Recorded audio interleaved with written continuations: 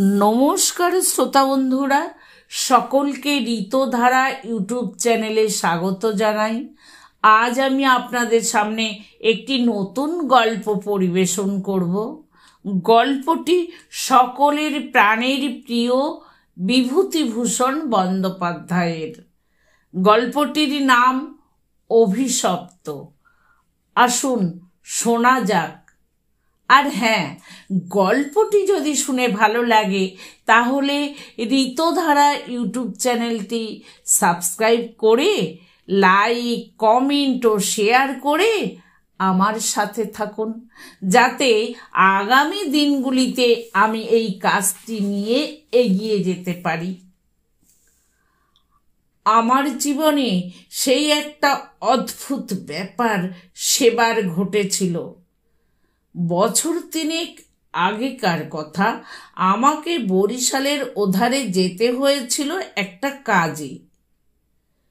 ও অঞ্চলের একটা গঞ্জ থেকে বেলা প্রায় বারোটার সময় নৌকোয় উঠলুম। আমার সঙ্গে এক নৌকোয় বরিশালের এক ভদ্রলোক ছিলেন। গল্পে গুজবে সময় কাটতে লাগল।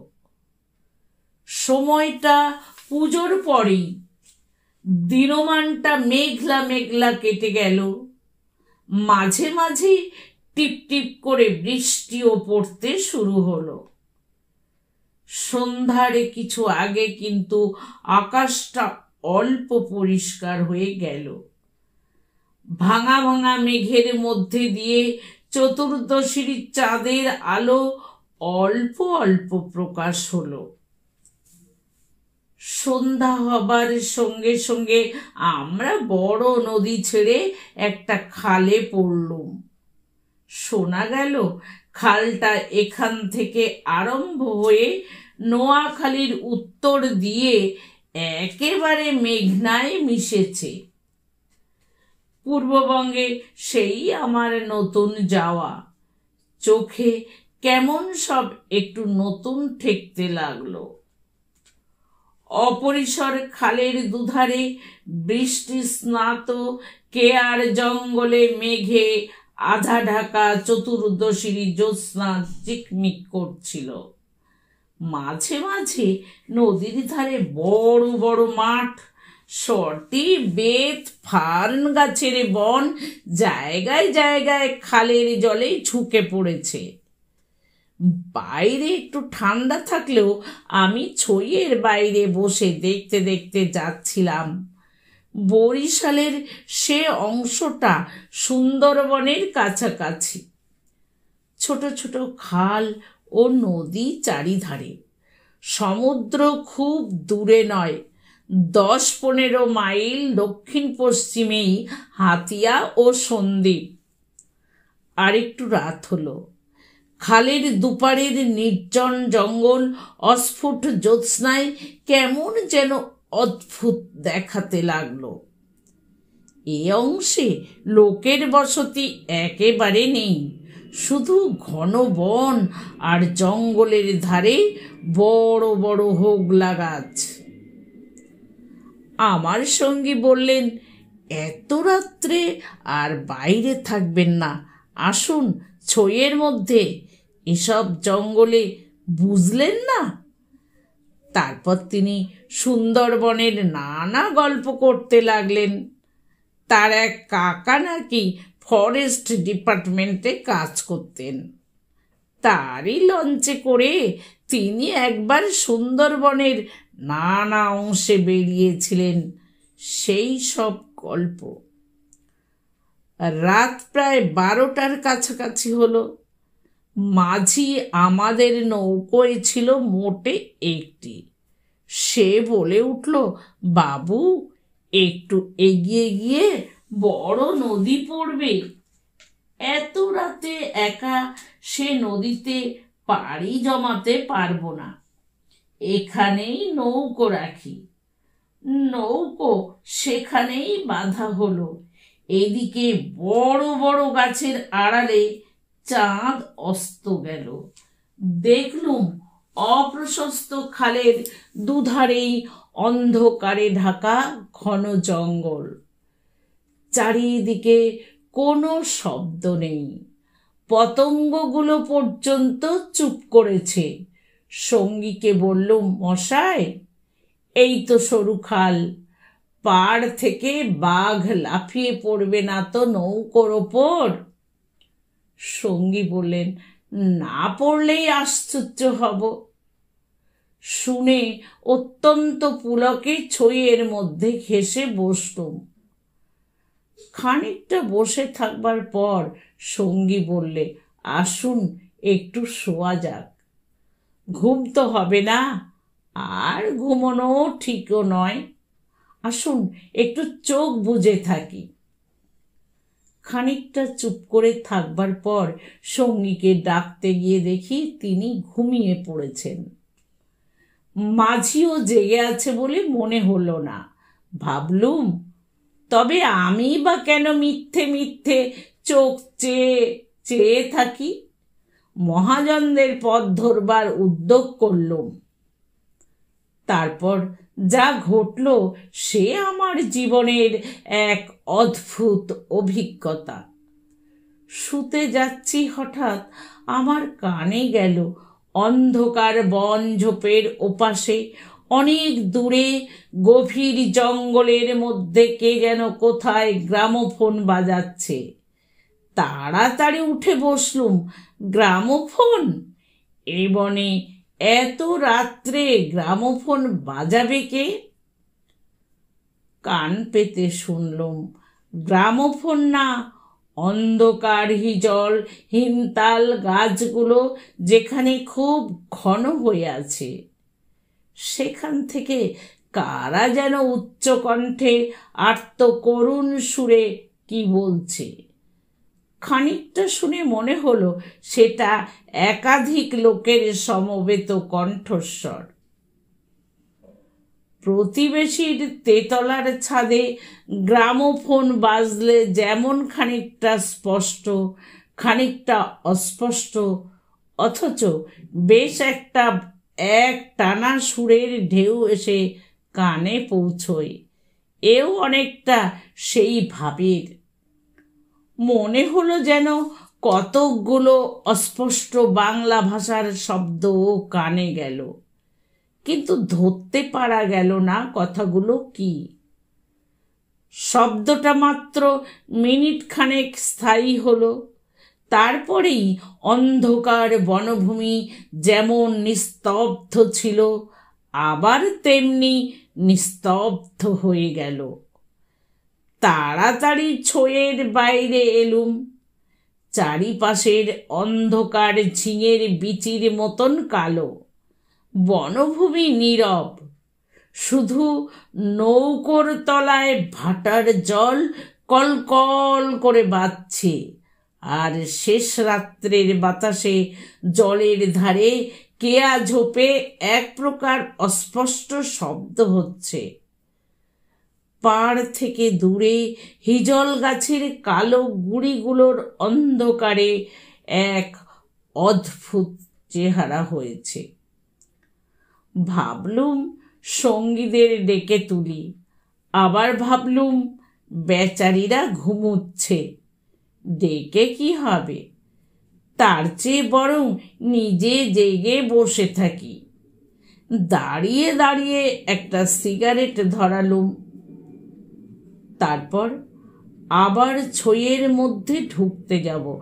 এমন সময় সেই অন্ধকারে ঢাকা বিশাল বনভূমির কোন অংশ থেকে সুস্পষ্ট উচ্চ আত্ম করুন ঝিচি পোকার রবের মতো তীক্ষ্ণ স্বর, তীরের মতন জমাট অন্ধকারের বুক চিরে আকাশে উঠল। ওগো, নৌকা যাত্রীরা, তোমরা কারা যাচ্ছ? আমরা শ্বাস বন্ধ হয়ে মোলাম আমাদের ওঠাও ওঠাও, আমাদের বাঁচাও। নৌকোর মাঝিটা ধর্মড় করে জেগে উঠল। আমি সঙ্গীকে ডাকলুম, মশাই, ও মশাই, উঠুন উঠুন। মাঝি আমার কাছে ঘেসে এলো। ভয়ে তার গলার স্বর কাঁপছিল। বললে, আল্লাহ আল্লাহ, শুনতে পেয়েছেন বাবু? সঙ্গী উঠে জিজ্ঞাসা করলে, কি কি মশাই, ডাকলেন কেন? কোনো জানোয়ার টানোয়ার নাকি? আমি ব্যাপারটা বললুম, তিনিও তাড়াতাড়ি ছয়ের বাইরে এলেন।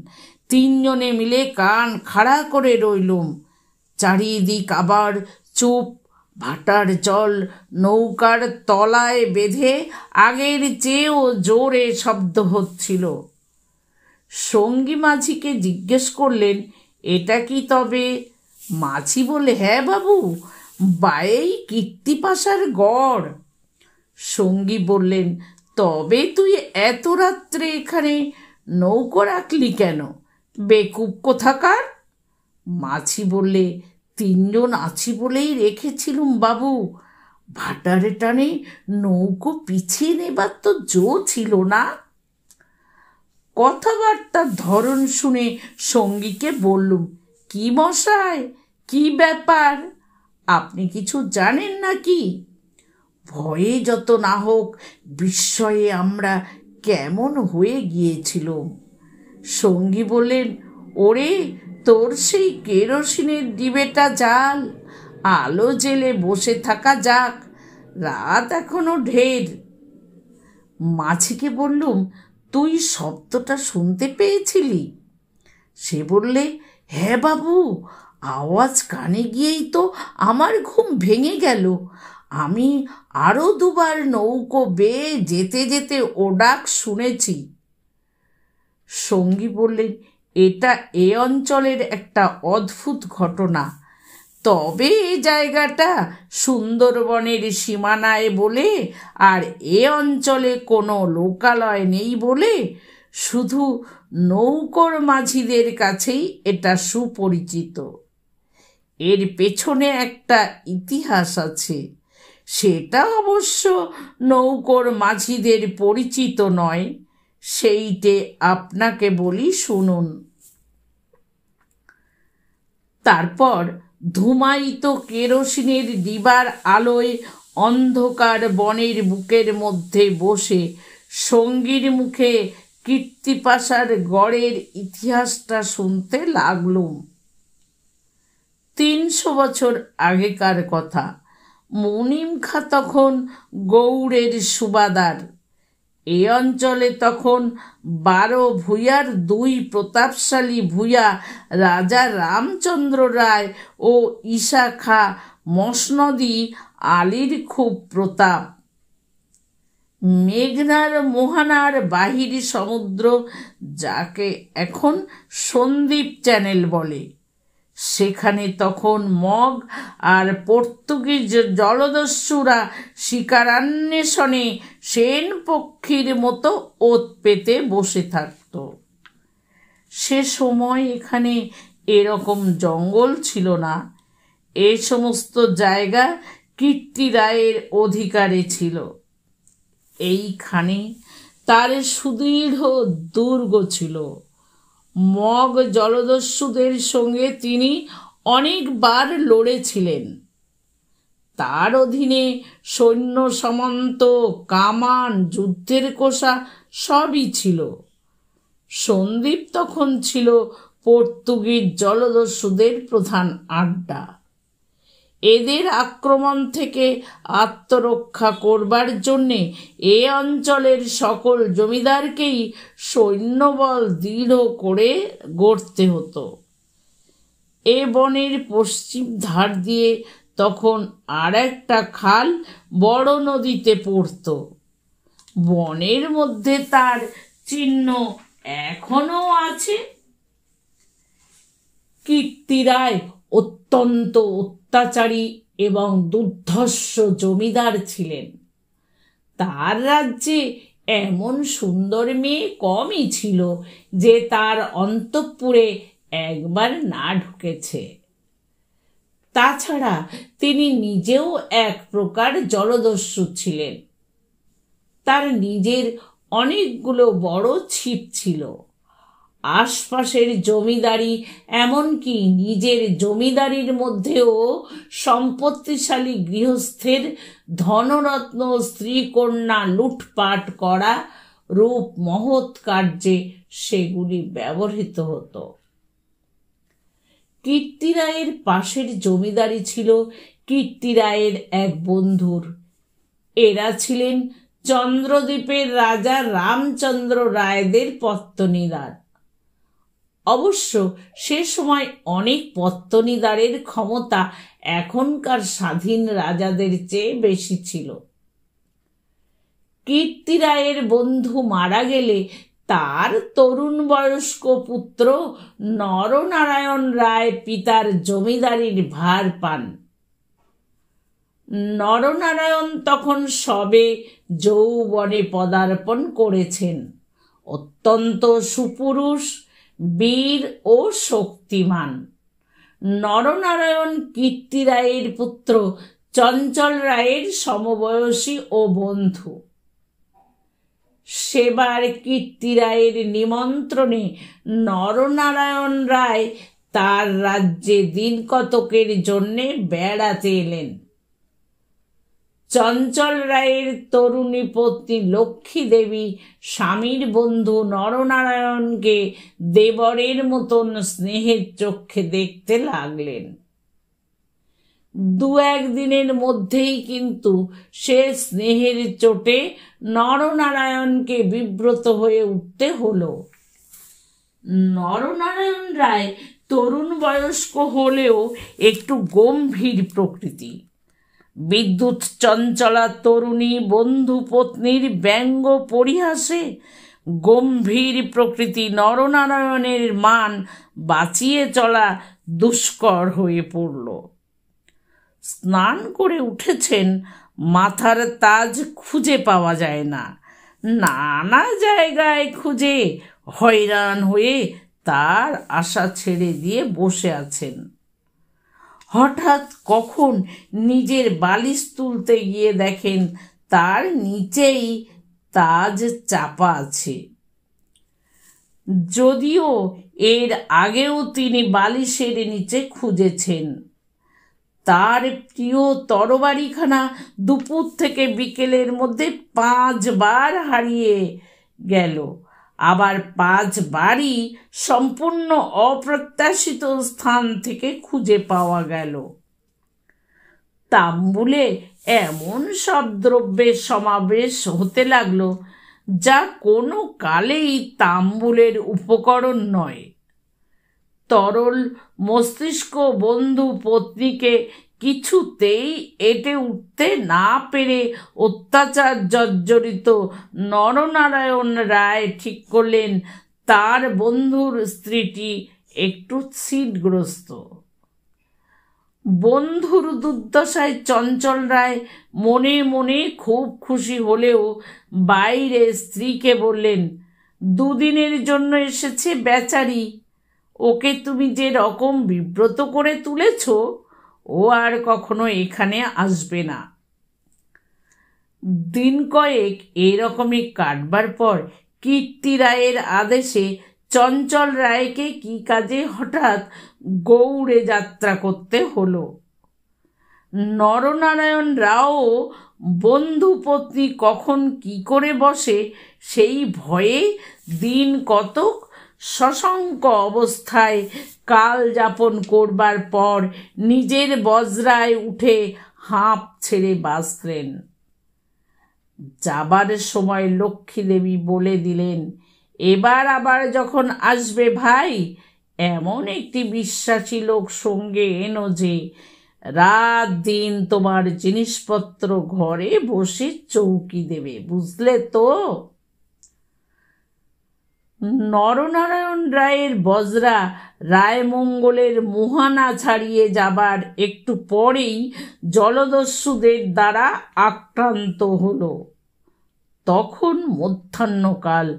প্রখর রৌদ্রে বজ্রার দক্ষিণ দিকের দিগ্বলয় প্রসারী জলরাশি সানানো তলোয়ারের মতো ঝকঝক করছিল। সমুদ্রের সে অংশে এমন কোনো নৌকো ছিল না যার সাহায্য করতে আসতে পারে।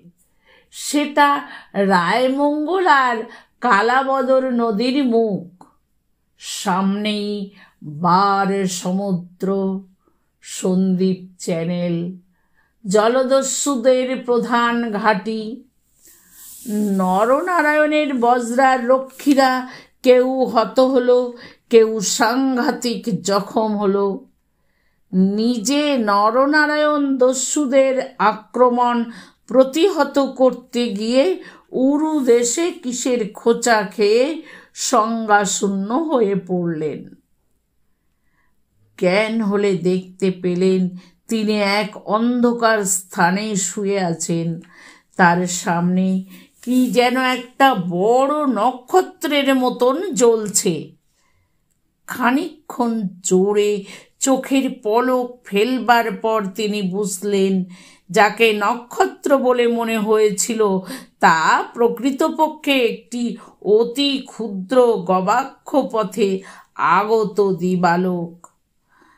নরনারায়ণ দেখলেন, তিনি একটি অন্ধকার কক্ষের আর্দ্র মেজের ওপর শুয়ে আছেন। ঘরের দেওয়ালের স্থানে স্থানে সবুজ শ্যাওলার দল গজিয়েছে। আরও কদিন আরও করাত কেটে গেল। কেউ তার জন্যে কোনো খাদ্য আনলে না। তিনি বুঝলেন, যারা তাকে এখানে এনেছে, তাকে না খেতে দিয়ে মেরে ফেলাই তাদের উদ্দেশ্য। মৃত্যু সামনে, নির্মম মৃত্যু।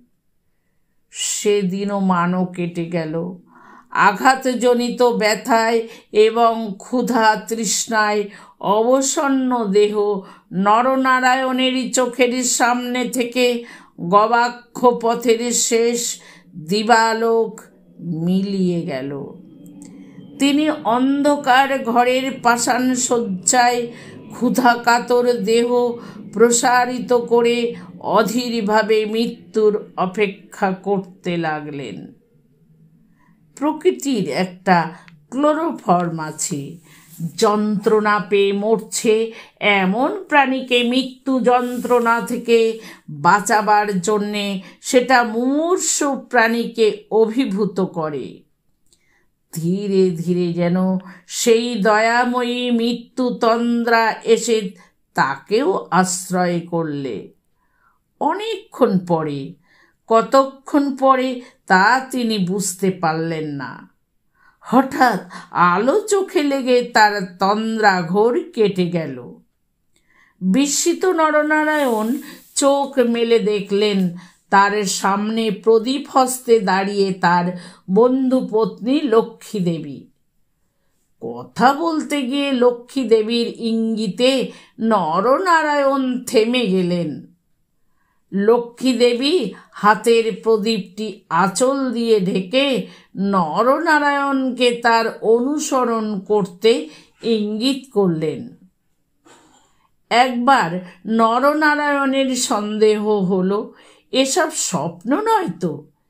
কিন্তু ওই যে দীপশিখার উজ্জ্বল আলোর আর্দ্র ভিত্তি গাত্রের সবুজ শ্যাওলার দল স্পষ্ট দেখা যায়।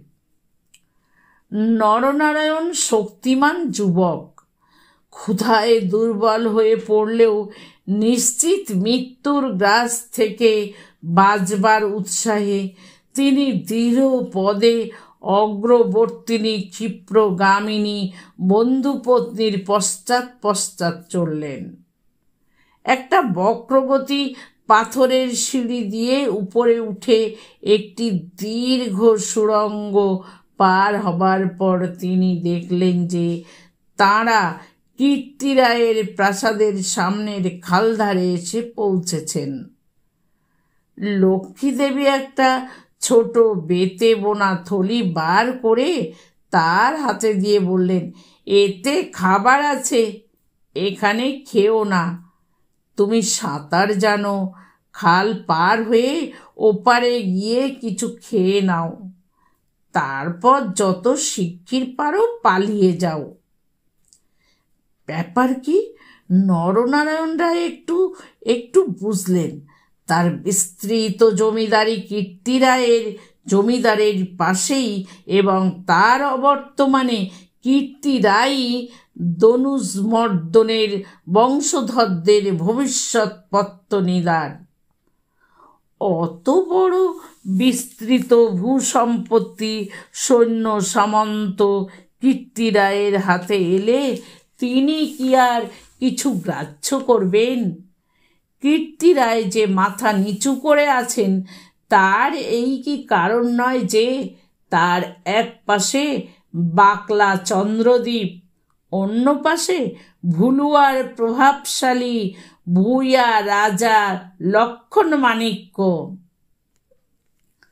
প্রদীপের আলোয় নরনারায়ণ দেখলেন তার বন্ধু পত্নীর মুখে সে চটুল হাস্যরেখার চিহ্নও নেই।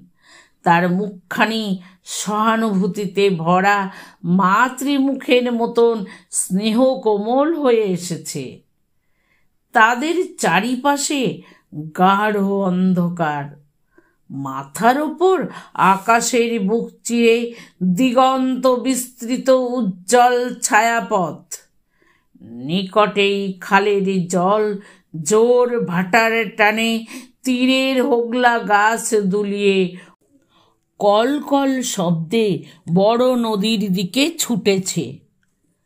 নরনারায়ণ আবেগপূর্ণ সুরে জিজ্ঞাসা করলেন, বউ ঠাকুরুন চঞ্চল কি এর মধ্যে আছে? লক্ষ্মীদেবী বললেন, না ভাই, তিনি কিছু জানেন না। এসব শ্বশুর ঠাকুরের কীর্তি। এই জন্যে তাকে অন্য জায়গায় পাঠিয়েছেন।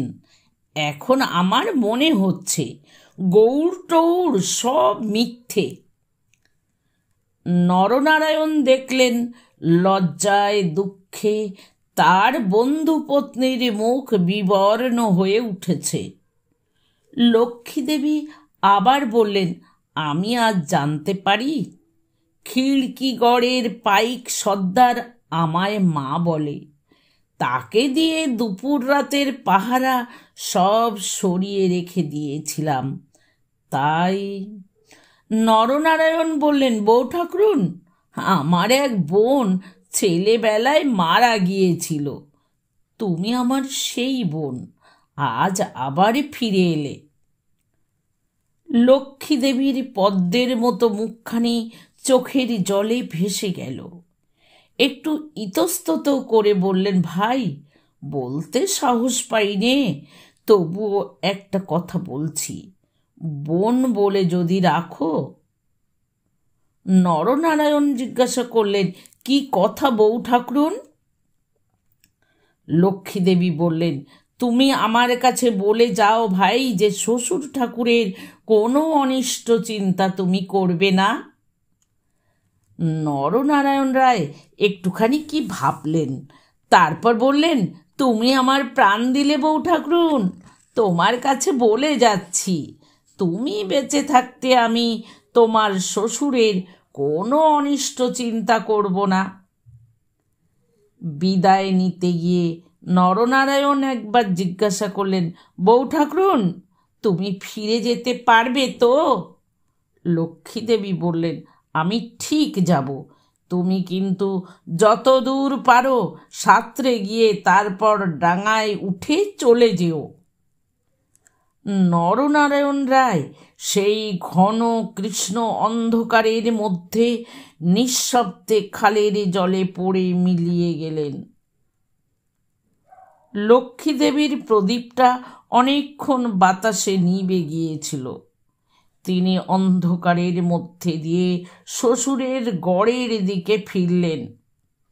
একটু দূরে গিয়েই তিনি দেখতে পেলেন পাশের ছোট খালটায় দুখানা ছিপ মশালের আলোয় সজ্জিত হচ্ছে। ভয়ে তার বুকে রক্ত জমে গেল। সর্বনাশ! এরা কি তবে জানতে পেরেছে? দ্রুত পদে অগ্রসর হয়ে গুপ্ত সুরঙ্গের মুখে এসে তিনি দেখলেন, সুরঙ্গের পথ খোলাই আছে। তিনি তাড়াতাড়ি সুরঙ্গের মধ্যে ঢুকে পড়লেন। কীর্তিরায় বুঝতেন, নিজের হাতের আঙুলও যদি বিষাক্ত হয়ে ওঠে, তো তাকে কেটে ফেলাই সমস্ত শরীরের পক্ষে মঙ্গল। পরদিন আবার দিনের আলো ফুটে উঠল। কিন্তু লক্ষ্মী দেবীকে আর কোনো দিন কেউ দেখেনি। রাতের হিংস্র অন্ধকার তাকে গ্রাস করে ফেলেছিল। নরনারায়ণ রায় নিজের রাজধানীতে বসে সব শুনলেন। গুপ্ত সুরঙ্গের দুধারের মুখ বন্ধ করে কীর্তিরায় তার পুত্রবধূর শ্বাসরোধ করে তাকে হত্যা করেছেন। শুনে তিনি চুপ করে রইলেন। এর কিছুদিন পরে তার কানে গেল, বাসুন্তার লক্ষণ রায়ের মেয়ের সঙ্গে শীঘ্র চঞ্চলের বিয়ে। সেদিন রাত্রে চাঁদ উঠলে নিজের প্রাসাদের শিখরে বেড়াতে বেড়াতে চারিদিকের শুভ্র সুন্দর আলোয় সাগরের দিকে দৃষ্টিপাত করে দৃঢ়চিত্ত নরনারায়ণ রায়েরও চোখের পাতা যেন ভিজে উঠল। তার মনে হলো, তার অভাগিনী বউ ঠাকুরানীর হৃদয় নিঃসারিত, নিষ্পাপ, অকলঙ্ক, পবিত্র স্নেহের ঢেউয়ে সারা জগৎ ভেসে যাচ্ছে। মনে হলো, তারই অন্তরের শ্যামলতায় জ্যোৎস্না ধৌত বনভূমির অঙ্গে অঙ্গে শ্যামল সুন্দর স্ত্রী নীরব আকাশের তলে তাঁরই চোখের দুষ্ট হাসিটি তারায় তারায় নবমল্লিকার মতন ফুটে উঠেছে। নরনারায়ণ রায়ের পূর্বপুরুষেরা ছিলেন দুর্ধর্ষ ভূম্যধিকারী দস্যু। হঠাৎ পূর্বপুরুষের সেই বর্বর রক্ত নরনারায়ণের ধমনীতে নেচে উঠল। তিনি মনে মনে বললেন, আমার অপমান আমি একরকম ভুলেছিলাম। বউ ঠাকুরুন, কিন্তু তোমার অপমান আমি সহ্য করব না কখনো। কিছুদিন কেটে গেল, তারপর একদিন এক শীতের ভোর রাত্রির কুয়াশা কেটে যাওয়ার সঙ্গে সঙ্গে দেখা গেল কীর্তিরায়ের গড়ের খালের মুখে ছিপে সুলুপে জাহাজে ভরে গিয়েছে। তোপের আওয়াজে কীর্তিরায়ের প্রাসাদ দুর্গের ভিত্তি ঘন ঘন কেঁপে উঠতে লাগল। কীর্তিরায় শুনলেন, আক্রমণকারী নরনারায়ণ রায়, সঙ্গে দুরন্ত পর্তুগিজ জলদস্যু সিবাস্টিও গঞ্জালেস। উভয়ের সম্মিলিত বহরের চল্লিশখানা কোষা খালের মুখে চড়াও হয়েছে। পুরা বহরের বাকি অংশ বাহির নদীতে দাঁড়িয়ে। এ আক্রমণের জন্য কীর্তিরায় পূর্ব থেকে প্রস্তুত ছিলেন। কেবল প্রস্তুত ছিলেন না, নরনারায়ণের সঙ্গে গঞ্জালেসের যোগদানের জন্য। রাজা রামচন্দ্র রায় এবং রাজা লক্ষণ মাণিক্যের সঙ্গে গঞ্জালেসের কয়েক বৎসর ধরে শত্রুতা চলে আসছে। এ অবস্থায় গঞ্জালেস যে তাদের পত্তনিদার নরনারায়ণ রায়ের সঙ্গে যোগ দেবে, এ কীর্তি রায়ের কাছে সম্পূর্ণ অপ্রত্যাশিত ঘটনা। তাহলেও কীর্তি রায়ের গড় থেকে উত্তপ চলল। গঞ্জালেস সুদক্ষ নৌবীর, তার পরিচালনে দশখানা সুলুপ চড়া ঘুরে গড়ের পাশের ছোট খালে ঢুকতে গিয়ে কীর্তিরায়ের নওয়ারার এক অংশ দ্বারা বাধাপ্রাপ্ত হল। গড়ের কামান সেদিকে এত প্রখর যে খালের মুখে দাঁড়িয়ে থাকলে বহর মারা পড়ে। গঞ্জালেস দুখানা কামানবাহী সুলুপ ছোট খালের মুখে রেখে বাকিগুলো সেখানে থেকে ঘুরিয়ে এনে চড়ার পিছনে দাঁড় করালে। গঞ্জালেসের অধীনস্থ অন্যতম জলদস্যু মাইকেল রোজারিও ভি ভেগা এই ছোট বহর খালে মধ্যে ঢুকিয়ে গড়ের পশ্চিম দিক আক্রমণ করবার জন্যে আদিষ্ট হলো। অতর্কিত আক্রমণে কীর্তিরায়ের নওয়ারা শত্রুবহর কর্তৃক ছিপি আটা বোতলের মতন খালের মধ্যে আটকে গেল। বার নদীতে গিয়ে যুদ্ধ দেবার ক্ষমতা তাদের আদৌ রইল না। তবু তাদের বিক্রমে রোজারিও অনেকক্ষণ পর্যন্ত কিছু করে উঠতে পারলেন না। কীর্তিরায়ের নৌবহর দুর্বল ছিল না। কীর্তিরায়ের গড় থেকে পর্তুগিজ জলদস্যুদের আড্ডা সন্দীপ খুব দূরে নয়। কাজেই কীর্তিরায়ের নৌবহর সুদৃঢ় করে গড়তে হয়েছিল। বৈকালের দিকে। রোজারিওর কামানের মুখে গড়ের পশ্চিম দিকটা একেবারে হুমড়ি খেয়ে পড়ে গেল। নরনারায়ণ রায় দেখলেন প্রায় ত্রিশখানা কোষা জখম অবস্থায় খালের মুখে পড়ে। কীর্তিরায়ের গড়ের কামানগুলো সব চুপ। নদীর দুপারে ঘিরে সন্ধ্যা নেমে আসছে। ঊর্ধ্বে নিস্তব্ধ নীল আকাশে কেবল এক ঝাঁক শকুনি কীর্তিরায়ের গড়ের উপর চক্রাকারে ঘুরছে। হঠাৎ বিজয়ন্মত্ত নরনারায়ণ রায়ের চোখের সম্মুখে বন্ধুপত্নীর বিদায়ের রাতের সন্ধ্যার পদ্মের মতন বিষাদ ভরা ম্লান মুখখানি কাতর মিনতিপূর্ণ সেই চোখ দুটি মনে পড়ল তীব্র অনুশোচনায় তার মন তখনই ভরে উঠল। তিনি করেছেন কি? এই রকম করে কি তিনি তার স্নেহময়ী প্রাণদাত্রীর শেষ অনুরোধ রাখতে এসেছেন? নরনারায়ণ রায় হুকুম জারি করলেন কীর্তিরায়ের পরিবারের এক প্রাণীরও যেন প্রাণহানি না হয়। একটু পরেই সংবাদ এলো গড়ের মধ্যে কেউ নেই। নরনারায়ণ রায় বিস্মিত হলেন। তিনি তখনই নিজে গড়ের মধ্যে ঢুকলেন। তিনি এবং গঞ্জালেস গড়ের সমস্ত অংশ তন্ন তন্ন করে খুঁজলেন। দেখলেন সত্যি কেউ নেই। পর্তুগিজ বহরের লোকেরা গড়ের মধ্যে লুটপাট করতে গিয়ে দেখলে মূল্যবান দ্রব্যাদি বড় কিছু নেই। পরদিন দ্বিপ্রহর পর্যন্ত লুটপাট চলল। কীর্তিরায়ের পরিবারের এক প্রাণীরও সন্ধান পাওয়া গেল না। অপরাহ্নে কেবল দুখানা সুলুপ খালের মধ্যে মুখে পাহারা রেখে নরনারায়ণ রায় ফিরে চলে গেলেন। এই ঘটনার দিন কয়েক পরে পর্তুগিজ জলদস্যুর দল লুটপাট করে চলে গেল। কীর্তিরায়ের এক কর্মচারী গড়ের মধ্যে প্রবেশ করে। আক্রমণের দিন সকালেই এ লোকটি গড় থেকে আরও অনেকের সঙ্গে পালিয়েছিল।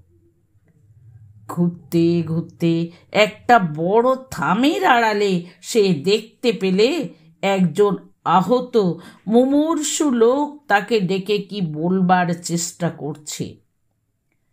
কাছে গিয়ে সে লোকটাকে চিনলে। লোকটি কীর্তিরায়ের পরিবারের এক বিশ্বস্ত পুরনো কর্মচারী।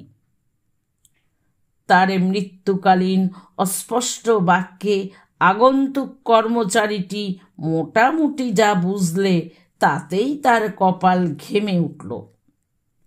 সে বুঝলে কীর্তিরায় তার পরিবারবর্গ এবং ধনরত্ন নিয়ে মাটির নিচের এক গুপ্তস্থানে আশ্রয় নিয়েছেন এবং এই লোকটি একমাত্র তার সন্ধান জানে। তখনকার আমলে এই গুপ্ত গৃহগুলি প্রায় সকল বাড়িতেই থাকত এবং এর ব্যবস্থা এমন ছিল যে বাইরে থেকে কেউ এগুলো না খুলে দিলে তা থেকে বেরোবার উপায় ছিল না। কোথায় সে মাটির নিচে ঘর? তা স্পষ্ট করে বলবার আগেই আহত লোকটি মারা গেল। বহু অনুসন্ধানেও গড়ের কোন অংশে সে গুপ্ত গৃহ ছিল তা কেউ সন্ধান করতে পারলে না।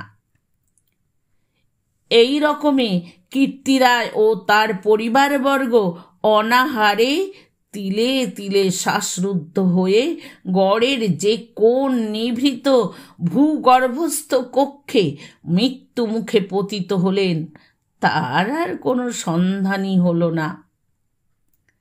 সেই বিরাট প্রাসাদ দুর্গের পর্বত প্রমাণ মাটি পাথরের চাপে হতভাগ্যদের সাদা হাড়গুলো। কোন বায়ুশূন্য অন্ধকার ভূকক্ষে তিলে তিলে গুঁড়ো হচ্ছে, কেউ তার খবর পর্যন্ত জানে না। ওই ছোট খালটা প্রকৃতপক্ষে সন্দীপ চ্যানেলেরই একটা খাড়ি। খাড়ির ধার থেকে একটুখানি গেলে গভীর অরণ্যের ভিতর কীর্তিরায়ের গড়ের বিশাল ধ্বংসস্তূপ এখনও বর্তমান আছে, দেখা যাবে। খাল থেকে কিছু দূরে অরণ্যের মধ্যে দুই সার প্রাচীন বকুল গাছ দেখা যায়। এখন এ বকুল গাছের সারের মধ্যে দুর্ভেদ্য জঙ্গল আর সুলো কাটার বন। তখন এখানে রাজপথ ছিল। আর খানিকটা গেলে একটা বড় দিঘি চোখে পড়বে। তারই দক্ষিণে কুচো ইটের জঙ্গলাবৃত স্তূপে অর্ধ প্রথিত হাঙ্গর মুখ পাথরের কড়ি ভাঙা থামের অংশ। বারো ভূয়াদের বাংলা থেকে রাজা প্রতাপাদিত্য রায়ের বাংলা থেকে বর্তমান যুগের আলোয় উকি মারছে। দিঘির যে ইষ্টক সোপানে সকাল সন্ধ্যায় তখন অতিথি যুগের রাজবধূদের রাঙা পায়ের অলক্তক রাগ ফুটে উঠত।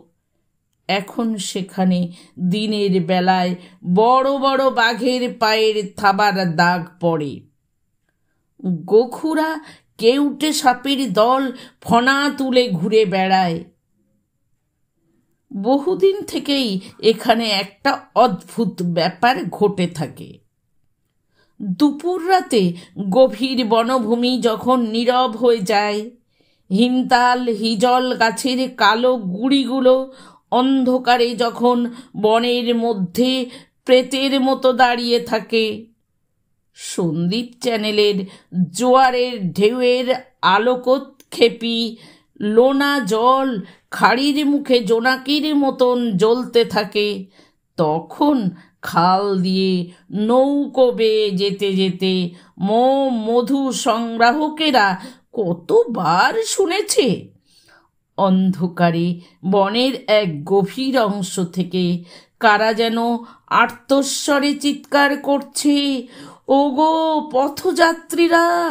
ওগো নৌকা যাত্রীরা আমরা যে এখানে শ্বাসরুদ্ধ হয়ে মারা গেলাম। দয়া করে আমাদের তোলো। ওগো, আমাদের তোলো। ভয়ে বেশি রাত্রে এ পথে কেউ নৌকা বাইতে চায় না।